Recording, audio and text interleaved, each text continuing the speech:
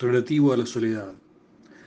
La pequeña María jugaba alegremente con sus muñecos cuando notó algo extraño. Su madre llamaba a la tía Susana.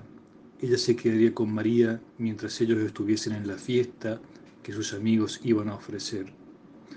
No, tía Susana, no. Ellos se van a ir y me van a olvidar. Tía Susana no demoró en llegar. Su presencia nada agradó a María. Ustedes no se van. María lloraba desesperada, desconsolada, creyendo que la abandonarían para siempre. Si ustedes se van, no van a volver nunca más. Pacientemente sus padres le explicaron que solo saldrían por unos momentos, que nunca la abandonarían, que mientras tanto tía Susana le haría compañía.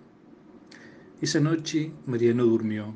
Si bien las palabras de sus padres la habían tranquilizado, no se sentiría conforme hasta volver a verlos y si se olvidan, y si cuando lleguen ya no me quieren, María durmió apaciblemente cuando al regresar sus padres le dieron las buenas noches.